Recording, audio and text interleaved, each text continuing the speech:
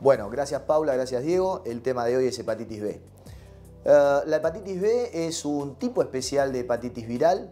distinta en su mecanismo de transmisión a la hepatitis A. La hepatitis A, eh, que es la hepatitis endémica en nuestro, en nuestro país, es una hepatitis transmitida por vía fecal oral, mientras que la hepatitis B se transmite a través de fluidos orgánicos. Se transmite por vía parenteral a través de la sangre e inclusive tiene un mecanismo de transmisión sexual a través del semen, lo cual la constituye en un tipo de enfermedad de transmisión sexual. Desde el punto de vista del eh, cuadro clínico, la mayor parte de los pacientes que se infectan con el virus de la hepatitis B cursan la infección en forma asintomática, es decir, no presentan ningún tipo de manifestaciones. Hay un pequeño porcentaje que sí va a presentar eh, fatiga, adinamia, eh, dolores musculares, fiebre, pérdida del apetito e inclusive lo eh, que denominamos ictericia, que es la coloración amarillenta de la piel y mucosas, característica de las, hepatitis agudas, la orina de color oscuro, que médicamente se llama coluria, y la materia fecal de un color más claro, que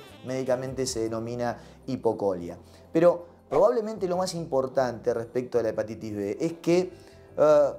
prácticamente menos de un 10% de los pacientes que contraen la infección por el virus de hepatitis B pueden evolucionar hacia la cronicidad.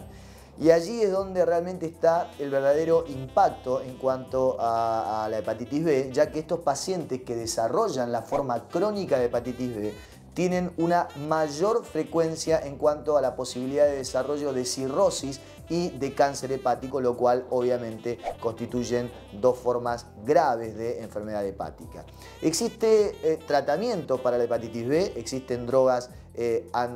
antivirales como la mibudina, entecavir, eh, existen otras drogas que son moduladores del sistema inmune como los interferones, pero quizás lo más interesante para destacar sea que existen formas de prevenir la hepatitis B. Por un lado tenemos una vacuna, una vacuna altamente efectiva, una vacuna desarrollada por ingeniería genética que tiene un 95% de eficacia para la prevención de esta enfermedad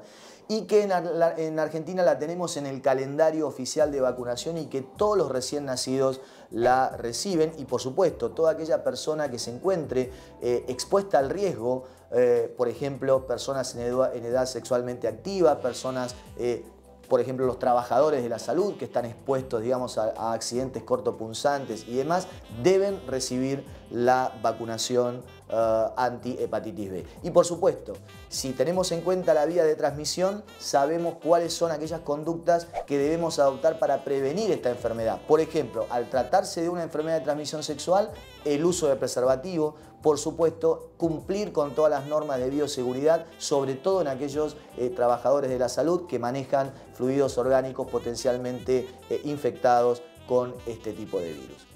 Muchas gracias.